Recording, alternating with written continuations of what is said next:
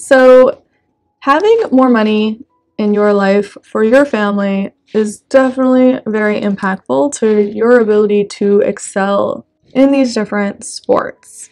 That is because when you have more money, you have the ability to afford pricey equipment, gym memberships, tournament fees, league fees, fitness training costs, and coaching costs, uh, as well as other things like just getting a soccer ball, getting equipment, getting different tools that can really enhance your success in that sport.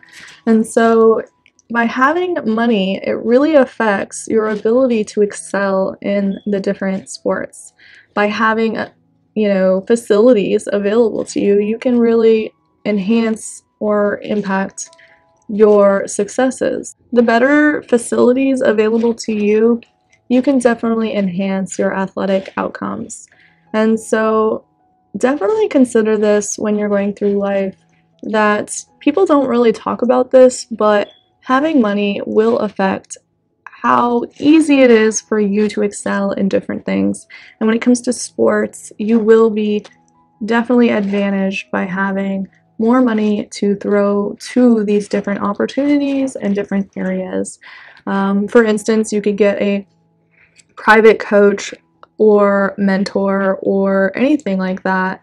And having the ability to do a sport one on one and train one on one with someone is very priceless and very impactful.